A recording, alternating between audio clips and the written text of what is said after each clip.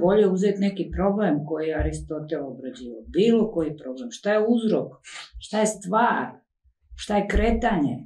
Ajde time, šta je umetničko delo? E, na koji način razmišljamo? Kako uopšte opažamo stvari? To, to su pitanja koja, koja su interesovala Aristotel. Mnogo bolje da razmrdamo mozak. Cilj filozofije u srednjoj školi pre svega da učeniku pomogne da što slobodnije misli i uh, da ne upada u, u predrasude. Volio bih. Da se ne zatvara u, u, dogme. Volio bih kad smo već, već tu da vi i ja prokomentarišemo jedno naše iskustvo. Tu iz filozofije. Pošto eto pričamo o tome koliko je cilj obrazovnog sistema da se razvije kritičko da. mišljenje, da slobodno misli i kako se država odnosi prema tome.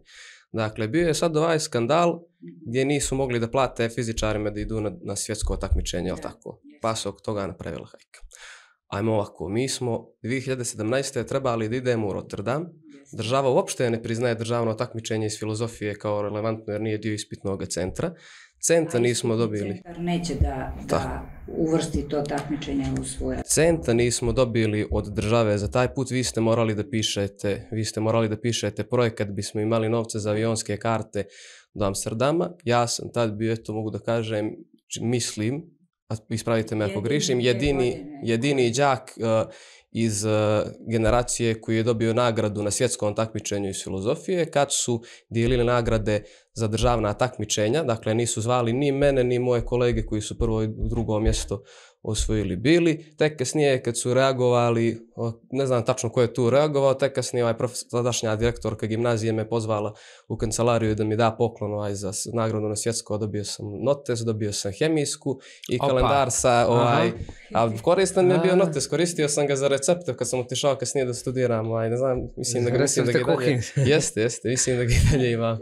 Te godine ti si bio jedini učenik koji je na bilo kojoj olimpijadi znanja a bilo ih je više, išli su naravno i tada na fiziku, matematiku, gde već, biologiju.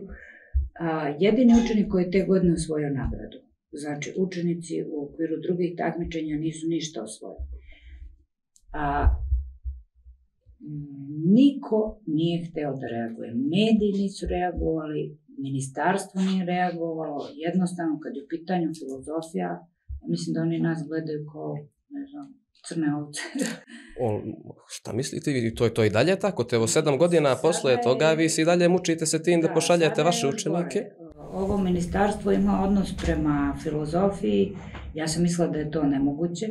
Gori nego što ga je imalo ministarstvo u vreme uh, održavanja olimpijade u Baru. Uh, mi smo ove godine tražili uh, novac za avionske karte za tim koji je išao u Grčku, u Olimpiju. Karte su koštale oko 1600 eura, pa je onda bilo još jedno noćenje koje mi sami plaćamo, hrana, prevoz, maksimalno 2500 eura. Da nije bilo domena me koji nama godinama pomaže, niko drugi, oni su nas spasili olimpijadu. Ko su poznata filozofska organizacija. Veoma U svakom slučaju... Ali svaka nam, čast. Oni su nam platili avijanske karte, ministarstvo je dalo 300 eura, nik, niko se više nije odazvao. Ja mislim da su i nama 300 eura dali, bili, eto da ne, ne ispadamo. Da, mislim da su i nama 2017. 300 eura dali. Da su... Dali su i za filozofsku olimpijadu, baru isto 300 E, ne, to je bilo 300 eura, da, da, da. Uvek, tih 300 eura nešto znači. Na to uvijek možemo računati.